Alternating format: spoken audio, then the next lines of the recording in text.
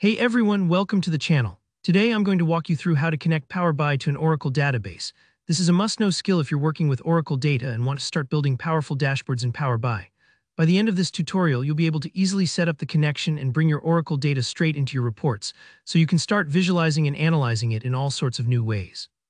Let's jump right in and open up Power BI on your computer.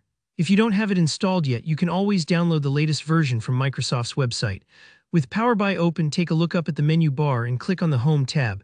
That's where most of the basic tasks start and it keeps things nice and organized. Now from the Home tab, find and click the Get Data button. This is a big part of working in Power BI. It's like the front door, letting you bring in data from all kinds of sources. Go ahead and give it a click. You'll see a whole list of different data sources, but to quickly zero in on what we want, just start typing Oracle into the search box. Power BI will instantly filter the options as you type, so you don't have to scroll through that long list. It's a small thing, but it definitely saves time. Once you see Oracle Database appear in the filtered options, click on it. This tells Power BI exactly where you want to pull your data from. At this point, a prompt pops up now. Depending on your system, you might get a message or even a link to learn more. If you do, don't ignore it. Power BI sometimes needs a little extra help to talk to Oracle databases because it relies on a special driver or patch from Oracle itself. So if you see the Learn More link, go ahead and click it. This will take you straight to Oracle's website where you can download the necessary driver. It's not hard at all, just follow Oracle's instructions, and once the patch is installed, you'll be ready to keep moving forward. With the driver or patch taken care of, you should see a window where Power BI asks for your server details. Here, where you tell Power BI exactly where your Oracle database lives. In the server box, type in the name or the address of your Oracle server.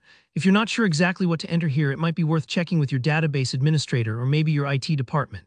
Getting this right is important. It's like dialing the correct phone number to reach your data. After you've entered the server name, take a moment to look below for the option to select Import. This step determines how Power BI will bring in your data. Import is recommended for most users because it actually brings a copy of the data into Power BI itself, which means your reports will run faster and you won't need a constant live connection.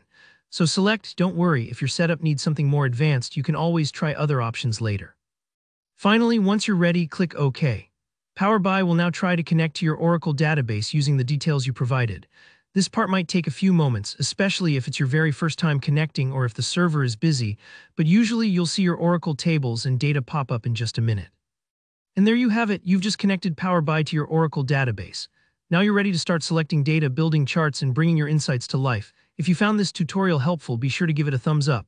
If you have any questions or if you run into any issues, just drop a comment below, I'm here to help. And don't forget to subscribe for more step-by-step -step Power BI tutorials. Thanks for watching and I'll see you in the next video.